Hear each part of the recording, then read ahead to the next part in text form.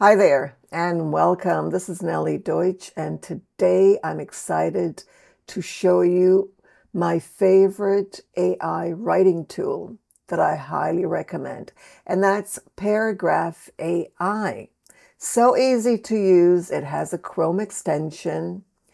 You can download it on your iPhone or your Android, and it's free for those who wish to use uh, it for free. So let's get started by logging in. And I'm in. I'm going to focus on the left, which is the input. And then I'll go into the right, which is the output, as well as um, the output library, which is amazing. So let me paste my text and hit write. And then I get the information on the right, which is the output, including the output library. So notice I've got a few things from the library going to take you to the libraries to get an idea of what you can do here. You can customize and add things as you wish, but and submit your customization. This is what we have so far for educators, analysis, and so on. Notice um, what we have here, text humanize, AI text humanizer.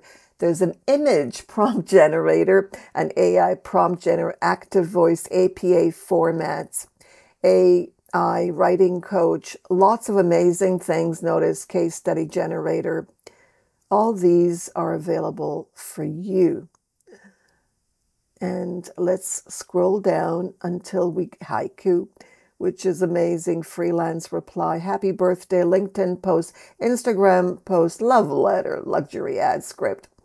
And I'm sure you'll be adding yours MLA format, next paragraph, paragraph brand, plagiarism detection. All these are available for you to use we're going to look at the multiple choice quiz generator. I'm going to save it to my profile. You can only have 10 at a time.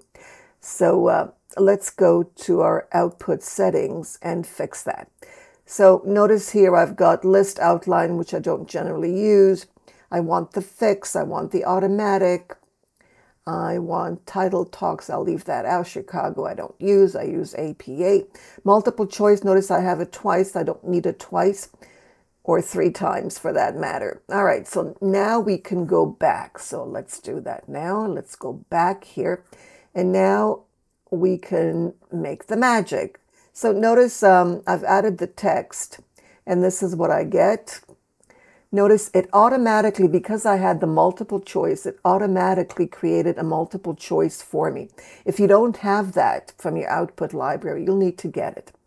Let me show you what else we can do here. Let me scroll down. The automatic is on. And I also have multiple choice quiz there. There's the paragraph in the paragraph format. And notice the fix here, which is super important. Let's open it up. Notice if you go to the right here, it says expand. We can open it up and take a look at it so we don't have to scroll down. We can also dismiss this so we can have it higher up. And notice there's also um, a rich, somewhat rich editor here, which is amazing. And you can edit and make changes as well. You also have the number of um, words or characters in my case.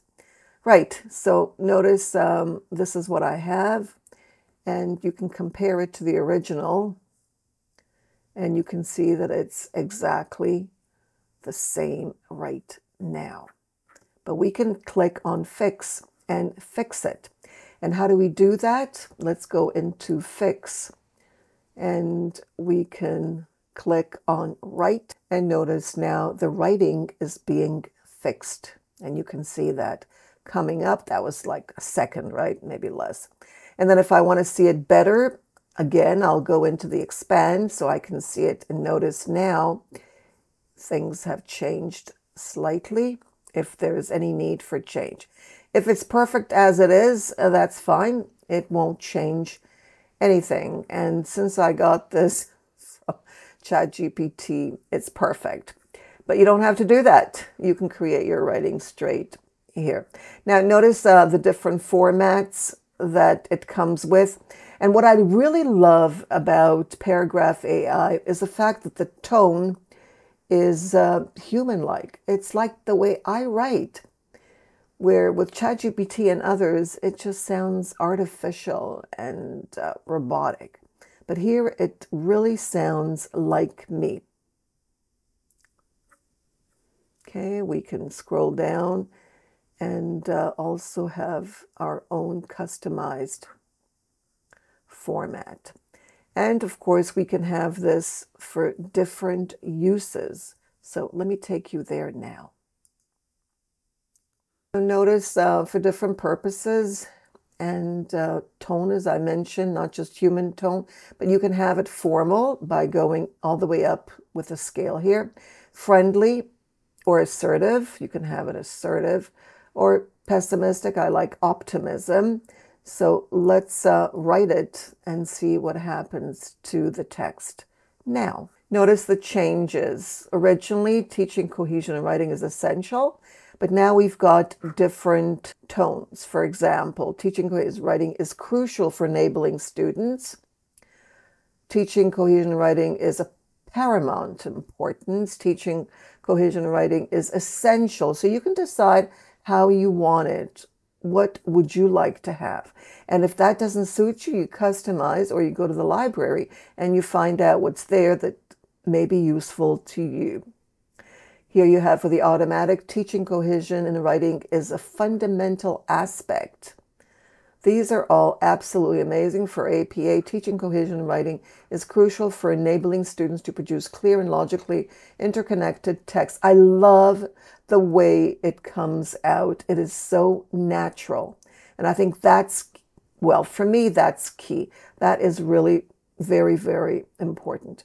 Now let's create a custom output. Okay, and my uh, custom output instructions is save up to 100 words. So I'm going to save my instructions. I'll give it, okay, give it a name, limit words. Okay, there we go. Now it's saving it, limit words. And now, okay, I actually would like to count the words, but okay, that's something for later. All right, just to show you, we're going to go into the fix. Notice the fix here it fixes grammar and things like that. So uh, right now it seems to be okay. So let me make some grammatical mistakes. Okay, let's go back into this one. Oh, we've clicked the fix. So let's see if there are any mistakes right now. Should take couple of seconds. And notice right now, okay, let's see, teaching cohesion. All right, everything is fine. So let's make a few mistakes and see what happens. Okay, so I've made a few mistakes. And um, the mistakes are here. Notice teaching cohesion and writing are essential, is essential. Thank you for that. And uh, one effective method, I think that is fine. Did I make any other mistakes? All right, so it actually fixes my mistakes, is used. I think I I did something else here. But in any case, it corrects everything when you go into the fix. And this is super important because sometimes we make typos too. Uh, we might just make, for example, our essential. I may just write as sen shall like that. And then let me check that out and have it fixed for me. Notice it also, that's is essential. Okay, so essential became. So these could be typos. It could be just a, a real mistake. So it's really, really important. Let me continue here to limit words. Okay, here I want only 100 words. So let me limit it. I asked for 100 words, so let me go to this one. Okay, and now I'm going to write and notice what happens to my long text. There we go.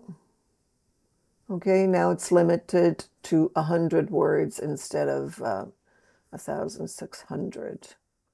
And so, all right, now let's go into um, detect. Notice you can detect different languages. For example, let me write here um, Olmos, okay, which is uh, in Hungarian. I don't know if I spelled it correctly. Olmos. But I'm under limit words, okay? So um, notice uh, in writing is crucial, okay? Came out with Olmos. It didn't seem to bother it, um, but it did change the essential okay, which is fine. But it does detect other languages so that you can be writing in a language and maybe have it translated because you can add the translate to the output library or just for you. Play around with it. There are so many features and they're ongoing, which is great because when we use a tool, we don't want to end with a tool. We want to be able to make a difference and customize the tool for our needs. And that's what Paragraph AI does. It allows you to continue making a difference to how you use AI writing tools. And of course, uh, encourage your students to do the same. Let me know if you have any questions about Paragraph AI in the comment box below, and I'll be happy to answer them. Thank you for watching and start writing with Paragraph AI.